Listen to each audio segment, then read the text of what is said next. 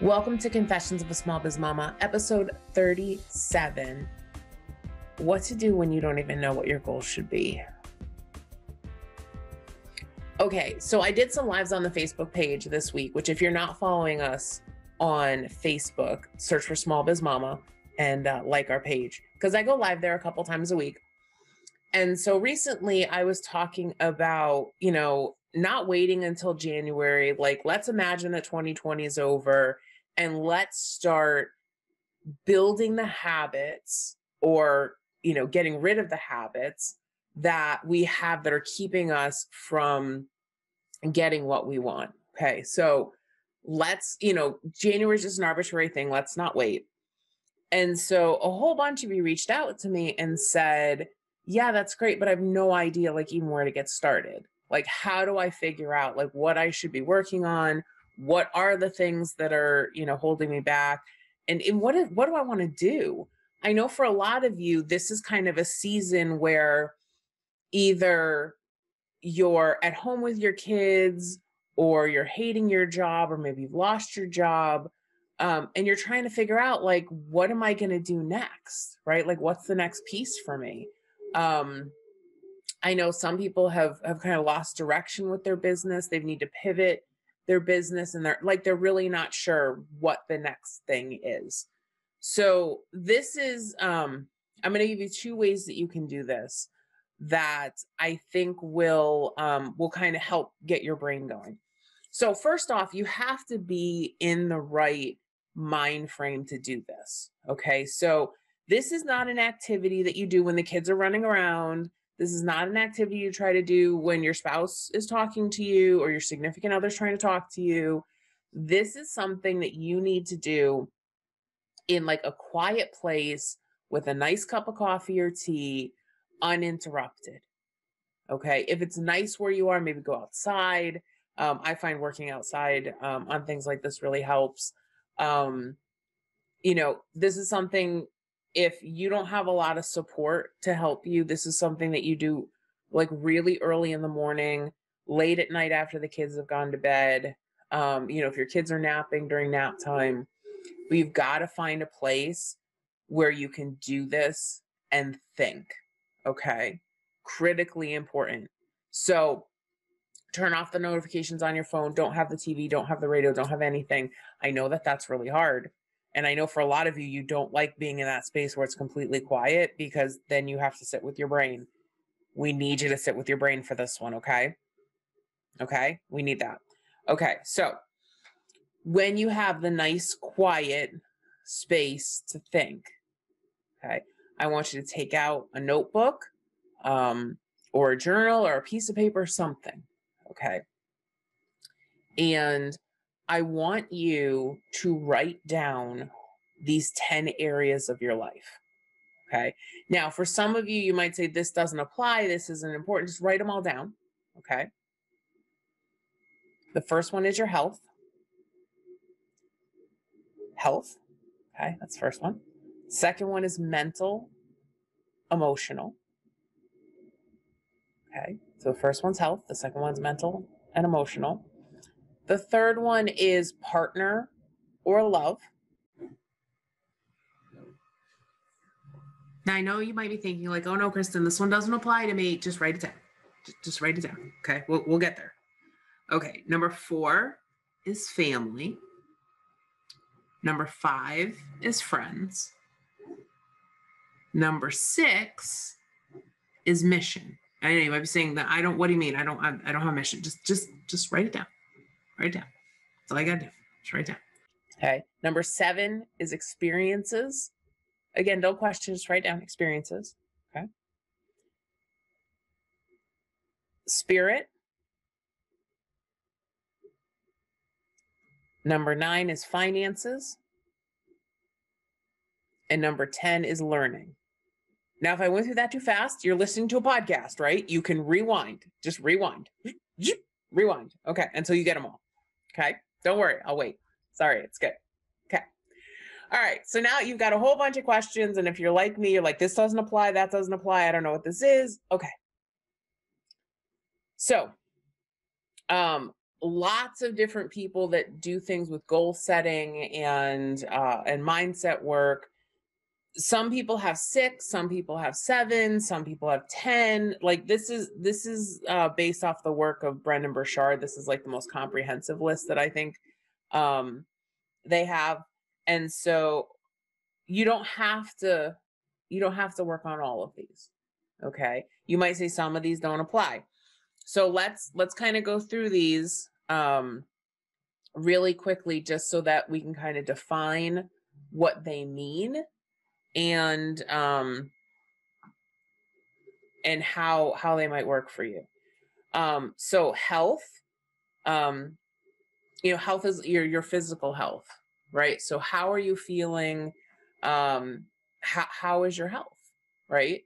Um and what what most people ask you to do is rank these on a scale of 1 to 10 okay? So if you think about your physical health right now okay um on a scale of 1 to 10 where do you think you are? Okay um and just don't overthink it just give it a number okay? You know i know some days it's funny like i wake up and my allergies are really bothering me and i'm like oh today's like a three. Um and they're like no no today's really a five. Like five's kind of my my baseline um you know like three would be like i'm like i'm sick. Like i'm i'm sick. Um you know one is you know one is like deathbed okay? Um you know having gone through like cancer treatment and stuff like i've i've hit twos. Um you know i've hit twos. I've never hit a one. Um i and i never hit 10 um because i always think that i can do a little bit better. Um so that's kind of where i'm so health physical health where are you? Um mental and emotional. So how are you doing um how are you doing mentally? Are your you know how are your emotions doing? Um and, and be honest right? Don't don't overthink it but be honest with yourself. Where are you?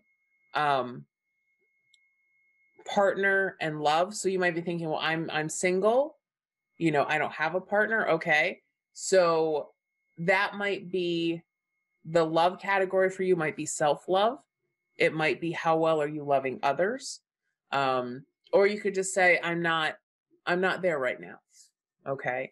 Um if you are seeking you know seeking a relationship where are you with that? How is that going on a scale of 1 to 10 what does that look like for you? Okay? Um number 4 is family. So how how are things going with your relationships with your family um scale of 1 to 10 and then do that again with your friends okay um the next one is mission so notice on this list, there's nothing about career, there's nothing about business. Um, what is, you know, a lot of us, a lot of people don't know what their mission is. Um, you know, my my mission um, has kind of evolved. Okay, so my mission currently is to um, help moms create more margin in their lives. And the primary way that I do that is through bookkeeper training school. Um, there are other things coming down the pipeline, right? But the, the primary way that I do that right now is a bookkeeper training school.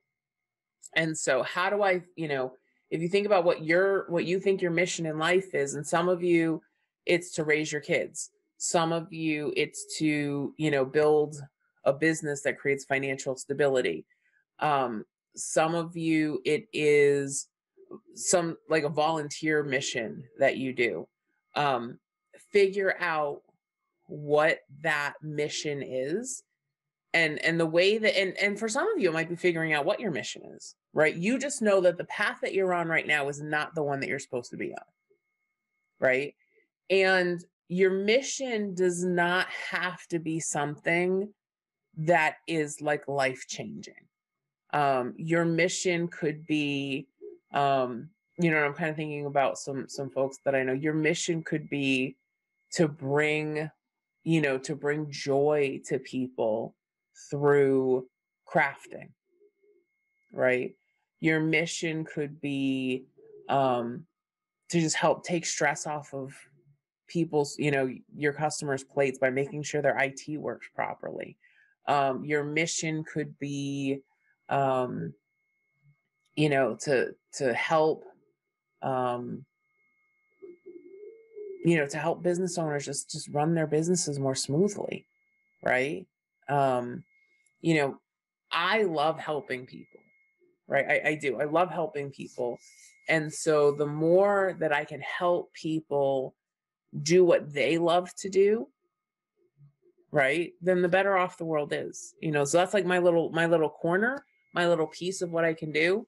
Um, you know, I know those of you like work in IT, when I can get that stuff off my plate and not have to deal with it, that makes me so happy. Like when my computer doesn't work right, it drives me nuts. It really does, and it stresses me out. Um, so so think about think about what what your mission what your mission is. Um, the next one's experiences. Are you experiencing life? Are you? And I know right now you're thinking nobody's experiencing anything because we're all at home. But you know the way that I think about that is, you know, am I am I getting, you know, am I getting out and and seeing nature? Am I, um, you know, sometimes we just go for drives. We just get in the car and we drive.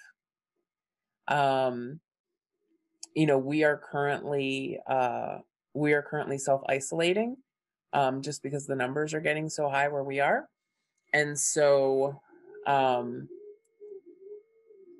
you know, even like experiences for us to like let's go out in the backyard and and have a fire in the fire pit, um, and just kind of be together, or um, a lot of times for me, experiences have to do with being present, right? Um, I have so because I have two businesses and I'm still teaching, you know, and you know, trying to keep up with everything going on around the house, a lot of times just feels like I'm not there. Um and so for me sometimes that experience is just being present. Right? So what is what does that look like for you on a scale of 1 to 10? Um spirit. So I've seen this one described a couple different ways. Um, I think for me, I think spirit is it's different than mental and emotional because like there are days where you have good days um mentally but your spirit is just kind of not there. I think this one's really hard to explain. I spirit is kind of the underlying tone right? Um, and I think we all kind of, I think maybe a lot of us are kind of struggling with this one right now, right? That that you might be having okay days, but it feels like your spirit is crushed, right? Um, and sometimes that's you know a job that we hate. Sometimes that's a um, sometimes that is a you know something going on in our lives that is just holding us down right? And we don't you know our, our spirit feels like it's caged right? And so um yeah in this one i think that this one is is uh this one's a little bit tougher i think. Um and i know a lot of people when they when they put together categories they kind of lump spirit in with mental and emotional um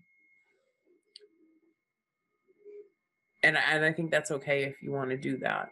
I think that that's okay. Um, for me, I kind of feel like the spirits it's a separate separate thing. Um, again, on a scale of one to ten, like you know that that underlying that underlying piece of you, right?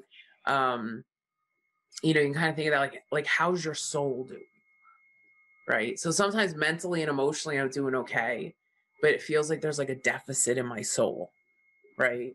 Um, maybe that's how I would define that one. Okay.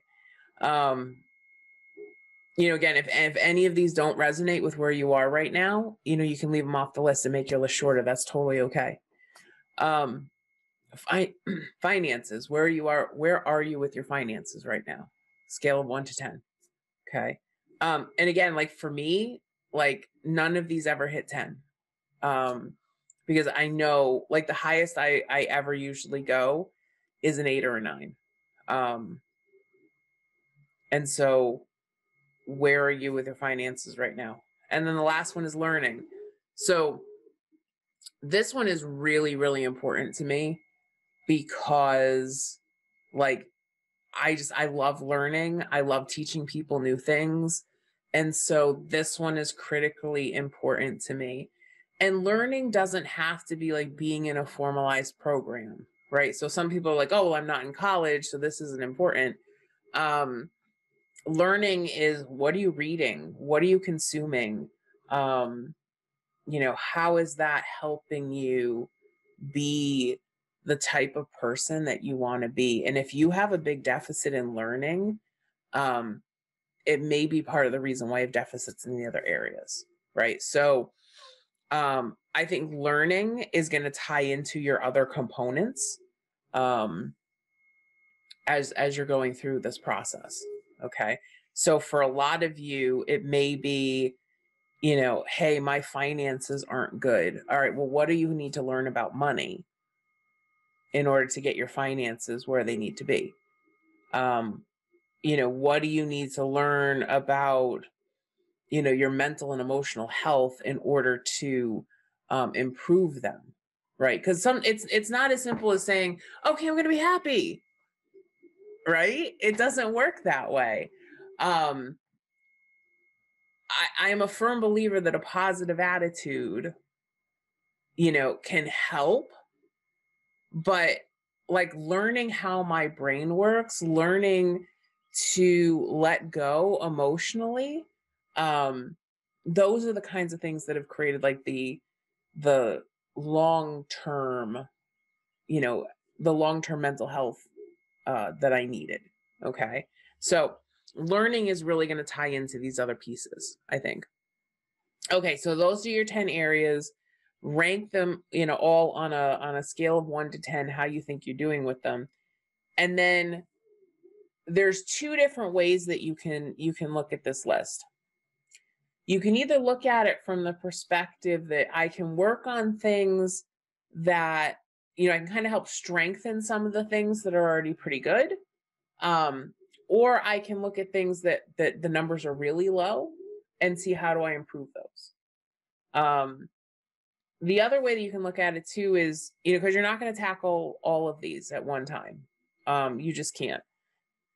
But what you can do I find is that if you work on like one or two of them and you do this check in on a regular basis, it's going to help the other ones go up. Okay. So, um, so the other the other thing to look at if you're trying to pick one or two of these is which one or two of these if you worked on them would help improve the others so for example um, it is really hard to have a good spirit when your physical and mental health are not in a good place.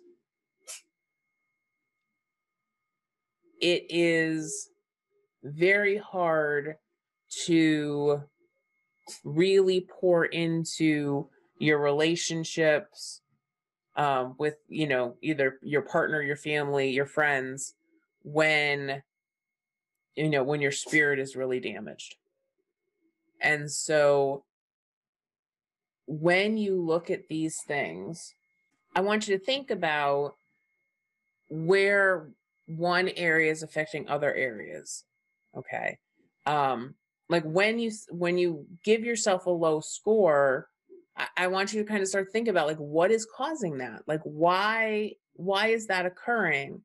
Um, I mean, like I know, like for me, um, when I am not walking outside on a regular basis, my health suffers, my mental health suffers, my spirit suffers, which means that, you know, I'm less likely to like reach out to people. Um, I think my mission suffers because my energy levels suffer. And so there's kind of this cascading effect. So if you start to think about, okay, what's going on in these areas, it might point you to another area, you know, like I just can't invest in my family and my friends right now because I don't have the energy. All right, let me think about health. Like what's going on with me health wise? Um, that if I improve could help improve the other things. You see what I'm saying? So hopefully, so that's that's one way to look at it. Okay. Um, and that's going to give you kind of concrete, you know, concrete things to work on. The other thing that you can do, um, and this is a little bit, I think for some people, they have trouble with this one. If you, and again, you need quiet space to do this because you really got to think. If you were on your deathbed, what are the things that you would regret not doing?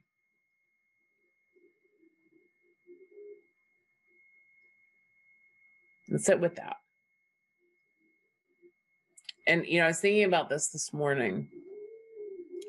And I said, okay, so for me, it would be not being present, right? So, you know, not being present for my my spouse and my family as much as I want to be. Um it would be not taking better care of my health. Um and there's a lot of things I want to learn. Um, and maybe that's just me. Um, you know, Jeff for Mother's Day last year got me a keyboard so I could learn piano. And actually, I think it might be, it might have been two years ago. Um, wow. Um, and so I haven't like I've just been so busy and I've had so many things going on. I have not really sat down to play um and to learn and that really bothers me because it's something that I've always wanted to do and now like I have all the tools to do it. I just need to make the time. So um plus I want to be able to teach Eric when Eric's older because he's really interested in it. Um so you know when you kind of think about what are the things right because we think we're talking about habits right this, this started with habits what habits do you need to create to be the person you want to be or what habits do you need to eliminate to be the person you want to be. That's ultimately how how goals start. And so if you think about okay what will i regret right? If i were on my deathbed right now what would i regret? Um you know i would regret not putting more effort in to helping people um yeah that's one too so i so you know as i sit down i say okay so write all these things down and then say okay so what do i have to do to change it right so if i'm talking about being more present you know, I need to put my phone down, right? I need to put my phone down. Need to say, okay, I am, I am no longer at work. So I am going to stop working. Okay. Um, and a lot of that's my phone. So, you know, one thing I've done um, is I've kind of let some notifications slip in for new apps that we're using. And so I find that incredibly distracting. I got to turn those notifications back off um, or at least change how I get them right? So my phone's not beeping and buzzing at me all the time. Um, you know, I need to I need to do a better job with meal prep so that um, I can be present with Eric after his nap and not worry about having to make dinner. Um, I need to, and it's really funny because this is the name the new, name of my new firm. I need to create more margin in my life so that I have the time to practice piano and and learn the things that I want to learn. Okay? And so now I've got things like okay, these are the things that I need to do. Now I have something to work on, right? I have habits to create. Um, I have things to do to help me get there, right? And so if you don't know what to work on, doing either of those two exercises um is going to help you figure that out. Okay. And if you haven't listened to the lives that we did um, on the Small Biz Mama page, you can, you know, go to facebook.com slash small biz mama podcast, click on videos, um, and you can scroll down and, and find those two videos. Okay. Um, we'll also we'll link them in the in the show notes here. So that way that's an easy way to get them. So if you go to smallbizmama.com and click on podcast for episode number 37. All right, so let me know what questions you have about this. You know, I know, you know, you're probably thinking it's not the new year. Can't we just wait till January? No, no, you can't. And it doesn't matter when you're listening to this episode, you can start today. You can start right now. So maybe you're listening to this in November, maybe you're listening to this in um in December, maybe you're listening to this in February and you're saying, well, now the the you know, I, I missed January, I missed my opportunity. No, you haven't. Because the opportunity can start right now. There's no arbitrary date that you have to start these things. So why wait? So I hope that this episode was helpful for you. I would love to hear um I'd love to hear from you. You can comment below, you can reach out to us through smallbizmama.com um, but I'd love to know how you're doing um, with this and and the impact that you are seeing in your life from taking these steps. All right, Mama, take care of yourselves, take care of each other, and I will see you soon. Thank you for listening to Small Biz Mama with Kristin Ingram. If you'd like to learn how to create more margin in your life, please visit us at smallbizmama.com. That's smallbizmama.com.